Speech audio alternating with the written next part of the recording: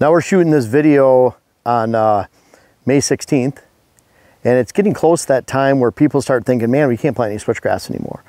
And I want to go through the ultimate late drop dead date that you can plant switchgrass, and it's a lot later than you think. And first I'll discuss this area right here, was just like that area up there. You can see the grass, how thick it is, and a little bit of briars. So what we did is in the spring, we actually sprayed this with simazine. But the simazine step is not as important as a lot of people think. It's one of the steps, but I'd call it third in the order of spraying. First is spraying this with 2,4-D and Roundup, one pint per acre of 2,4-D, two quarts per acre of glyphosate. So we've actually done that. You can see this whole strip. We're putting a switchgrass edge it actually goes around the corner for another 150 yards. And what that does is it screens off over here. We actually have a hedgerow and then there's a food plot right in there. So we want to be able to access out here. We have switchgrass, hedgerow, a little bit of switchgrass there.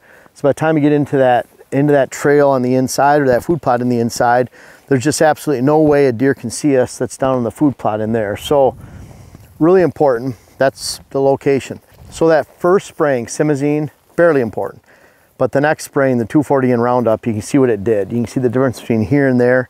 And uh, the 2,4-D is important because there's a lot of stubborn broadleafs in here, including clover, that we need to kill. And it's very resistant. A lot of those plants are very resistant to the uh, glyphosate that we're putting on here. Glyphosate is basically the weakest herbicide you can spray. And then that 2,4-D is pretty strong, but that's a, that attacks broadleaf. So that's they're both post-emergence, meaning this has to start greening up. So when this starts greening up, you're spraying it. So we were spraying this about two and a half weeks ago, right around there. So towards the end of April, beginning of May, right around there. So once this was sprayed, we're gonna wait another two weeks. And you can see there's a little bit of green here and there uh, popping up. So we get a late emergence with some of these broadleafs. Might even get some late emergence with some of the grass here. So that's where that second spraying comes in. You want that about four weeks after.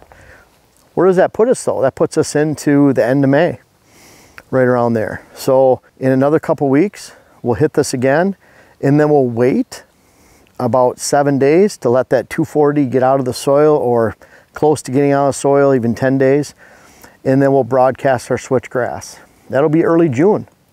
Now I planted switchgrass as late as late June. If you get plenty of moisture, that seed will take hold, but you have to eliminate weed competition and that's what we've done. However, you can't use switchgrass as a high hard seed percentage count.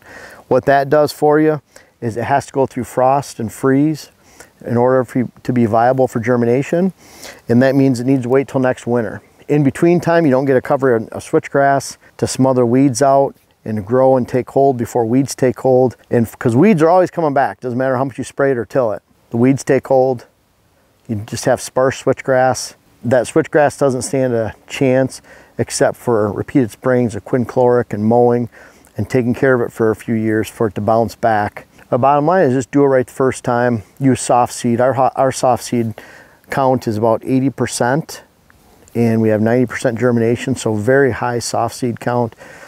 And that means that seed's available for germination right away. You get good moisture, about 10 days of rain off and on. Keep that seed damp on top of the soil and it'll germinate right away and we get a good covering. So, hey, thanks for watching the video and we'll be right back. But this is very important. It's a very important announcement. We have our Camp Kicking Bear event. We have it on Father's Day. It's more of a habitat day. We're gonna see a feature of habitat improvements, how they will all relate to a bedding area, a water hole, food plot, bedding point, morning stands, evening stands, and then we get to take a tour around the majority of the property too. Bottom line is $350 per person times 50 people. We highly encourage you to bring your kids. After all, it's Father's Day. 50, those 50 spots always sell out very fast. On that same day, it's from 10 o'clock to 4 o'clock in the afternoon. We have speaking events.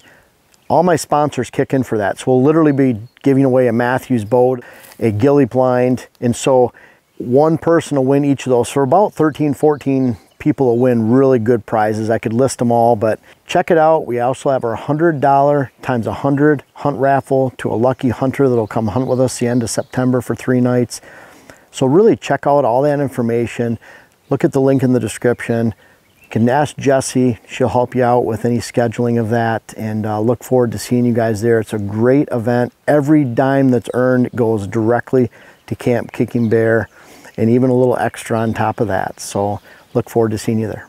We're literally going to be spraying and planting switchgrass the end of May, then planting in early June. We could probably get away to mid-June around here. as long as we get some late June rain. And then once switchgrass establishes, it's very drought tolerant. Now, if we don't, every plant has its limits. So if we get 10 weeks of no rain, I'm sure it would drought out, but then we have a lot of other concerns around here too, besides just switchgrass. The bottom line is get that switchgrass here, just get some timely rains every couple weeks once it's established, and you're gonna be on your way to a great switchgrass field, and it's planted a lot later than you might think. So there's still time. If you have areas of food plots, you have areas that have a food plot edge that you wanna establish uh, switchgrass, you chemically control last year, get a spraying of 2,4-D, one pint per acre, and two quarts per acre of glyphosate in that location. Maybe had areas you sprayed out for food plots initially this spring. Another spraying here soon, and you still have time to get that switchgrass on there. So look for old farm field edges that you want to take back from the farmer and actually plant wildlife plantings. Look for areas in your food plots where you can plant. Look for areas that you've sprayed for food plots early in this spring or were chemically controlled last year. Maybe areas that you'd already previously worked up. Now you're, you're setting the weeds back. You're waiting for them to come in. Hit them with 2,4-D and Roundup. So those are a lot of scenarios if you use soft seed where you can actually establish switchgrass into June and maybe even closer to July. But after you get to July 1st, end of June, you're starting to get really late and, uh, and then you have a good catch. So the next step, after you establish this, we're going to be looking in mid to late July, early August, and we're going to look for weed competition coming in with that switch because again, the weeds are always coming back.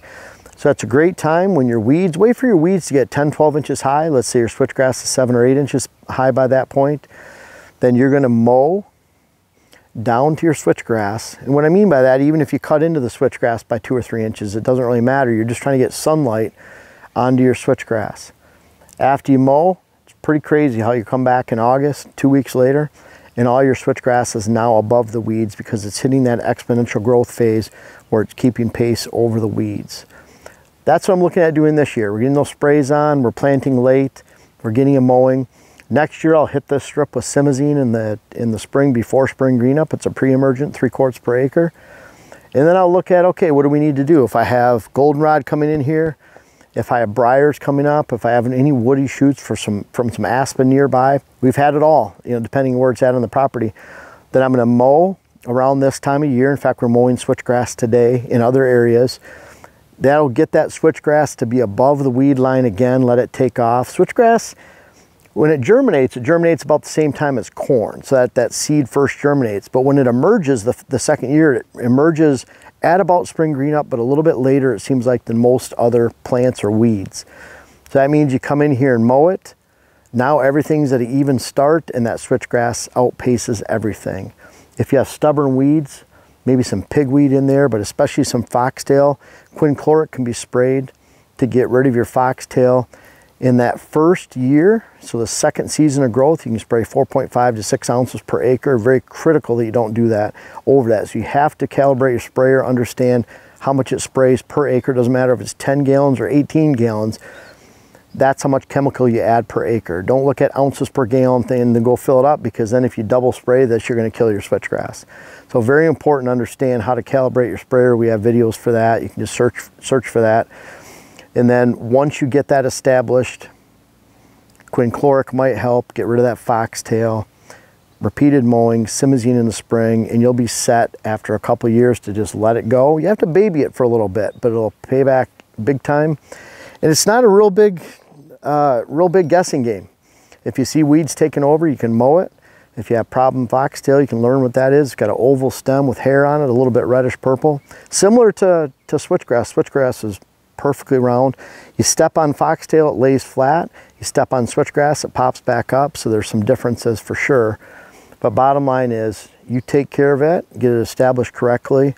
Not only will it take you take care of you for decades to come, but it'll grow really well that first year and you can plant it a lot later than you might have otherwise thought. Now, I don't know if you've checked out our main website lately, whitehabitatSolutions.com, but we've really had a lot going on, including hats, books, our web class, and certainly our new seed company, WHS Wildlife Blends. When you click on seed on our site, it'll take you right to our brand new site for the seed company. We have all 12 blends available. So check it all out though. I encourage you, I appreciate you checking it out. Whether you buy anything or not, really appreciate you visiting the site and uh, seeing what's going on and continue to watch because we have big things coming later this year.